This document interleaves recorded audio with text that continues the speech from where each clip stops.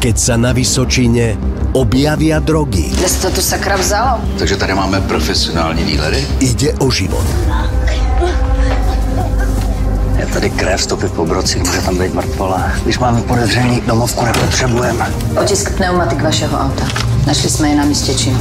Tak je to můj revír, ne? Občas tam přece musím zajet. Sledujte Kam zmizely mrtvoly?